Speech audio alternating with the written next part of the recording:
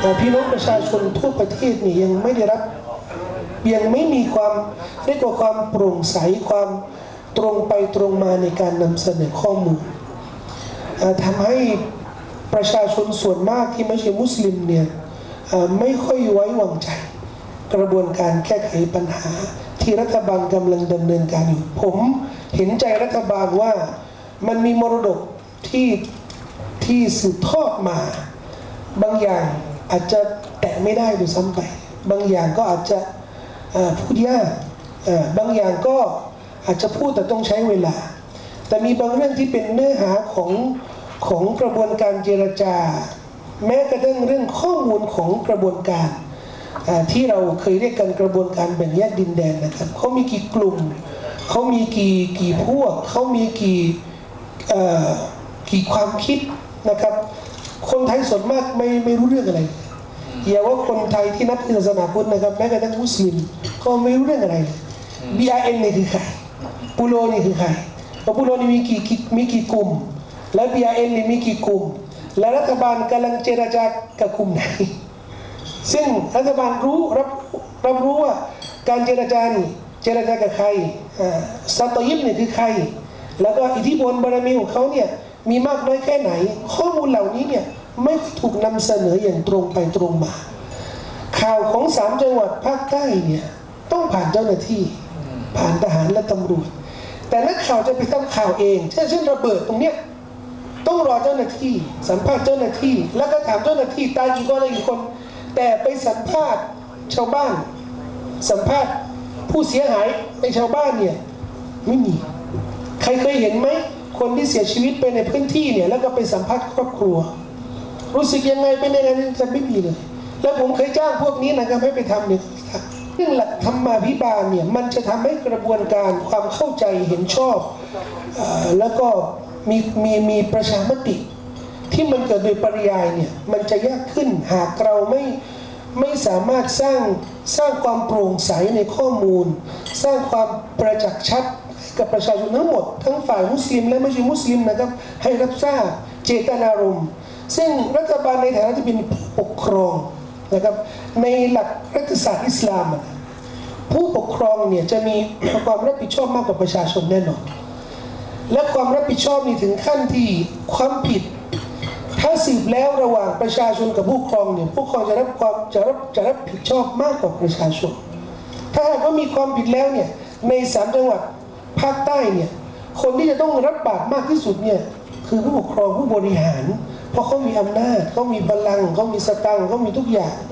แล้วก็ฝ่ายประชาชนนี่ก็จะเป็นฝ่ายที่อ่อนแอฝ่ายที่ไม่มีอำนาจไม่มีความสามารถดังนั้นผมตั้งตั้ง ตั้งคำถามสุดท้ายเนี่ยนะครับว่าทำไมรัฐบาลจะต้องรอผลเจรจากับกระบวนการ โดยจรรยาบรรณของผู้ครองนี่นะ สามารถให้ประชาชนสามารถแก้ไข สามารถปรับปรุงอะไร และไม่ต้องรอคำเรียกร้องจากจากฝ่ายกระบวนการ การยกเลิกพรกการให้พื้นที่เนี่ยชาวบ้านรู้สึกว่า เหมือนคนทั่วไป ผมไปสามจังหวัดอยู่สองวันนี่ผม ผมแทบจะบ้าเลยเพราะผ่านด่านด่าน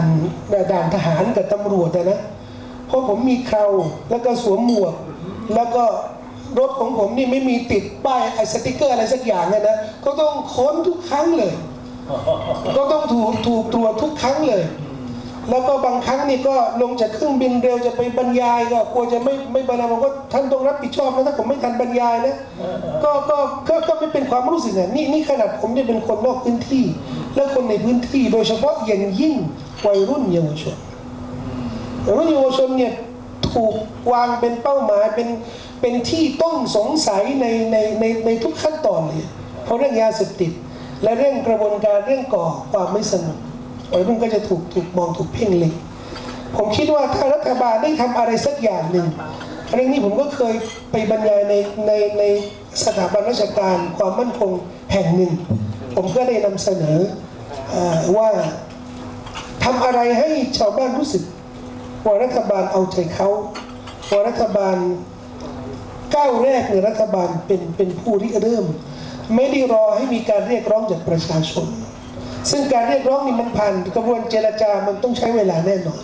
อย่าไปมองว่ารัฐบาลซาอุดีเนี่ยมีอคติ แล้วก็ต้องการรัฐบาลซาอุดีต้องการให้ความสัมพันธ์เนี่ยกลับเหมือนเดิม แต่มันมีเรื่องศักดิ์ศรีเรื่องอะไรเล็กๆน้อยๆนะแต่ของสามจังหวัดภาคใต้เนี่ยคิดว่าเขาไม่ติดใจอะไรเลยนะนอกจากว่าอ่ากระบวนการที่ทางโอซีเนี่ยเขาต้องการให้รัฐบาลไทยเนี่ยแสดงสปิริตแล้วก็ศักยภาพในการแก้ไขปัญหา อันนี้มันก็มี กระบวนการอย่างที่ดรประกรณ์บอกว่าเขามีโมเดลของเขาต้องทำอย่างนี้นี้เขาจะได้ประกาศว่าเออเขาเขาพอใจแล้วเนี่ยเราก็ทำตามที่เราสามารถทำได้ แล้วก็ส่วนหน้าที่ของรัฐบาลถ้าเราอ่ารู้สึกในความเป็นผู้ปกครองที่ต้องเมตตาประชาชน แล้วก็ให้ความสำคัญกับปัญหาเนี่ยผมคิดว่าคนไทยที่สามจังหวัดชายแดนภาคใต้เนี่ยเขาต้องรู้สึกว่าเขาเป็นเจ้าของแผ่นดินเหมือนคนไทยทั่วไปครับขอบคุณครับ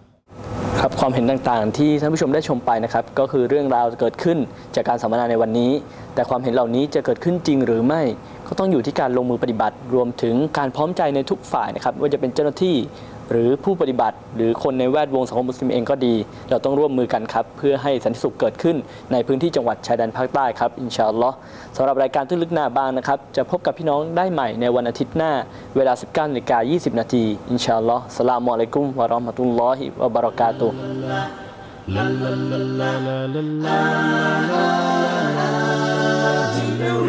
la la hai bay trên lá bị chi cha la la la la la la la la la la la tình yêu lên lấy lâu lại vẫn muốn lại hai bay trên lá bị chi cha la la la la la la la la la la la tình yêu lên lấy lâu lại vẫn muốn lại 闺蜜请到微信上啦啦啦啦